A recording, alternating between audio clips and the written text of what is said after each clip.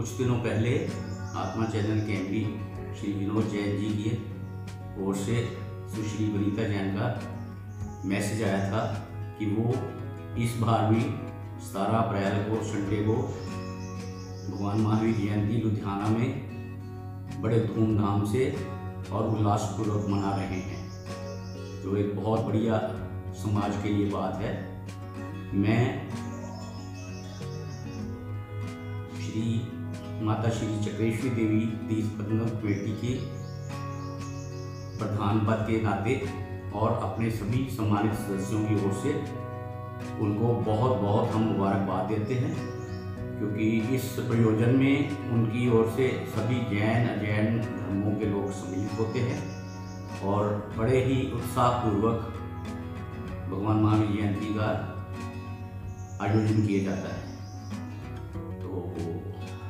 ये जो तीर्थ है, हमारी सरहंद तीर्थ, माता चक्रेश्वर देवी जी का, ये सबको ज्ञात ही है कि लगभग 900 से हज़ार वर्ष प्राचीन है। तो यहाँ पर हमारे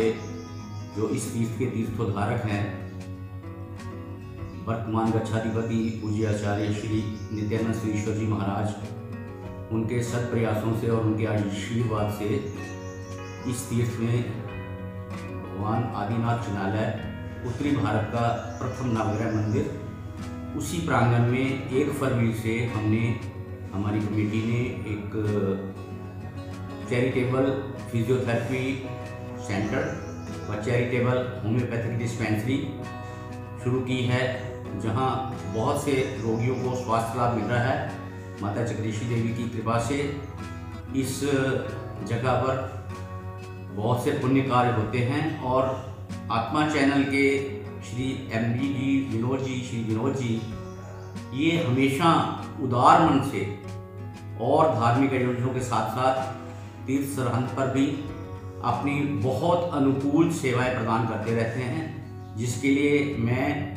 स्वतंत्र कुमार जैन प्रधान और हमारे सभी सम्मानित सदस्य कमेटी के, उनके तह दिल से शुक्रिया अदा करते हैं। और इस आयोजन के लिए उनको अपनी शुभकामनाएँ देते हैं। भगवान महावीर जयंती की समस्त जैनों को, अजैनों को और समस्त भारतवासियों को हमारी बहुत बहुत शुभकामनाएँ। जय माता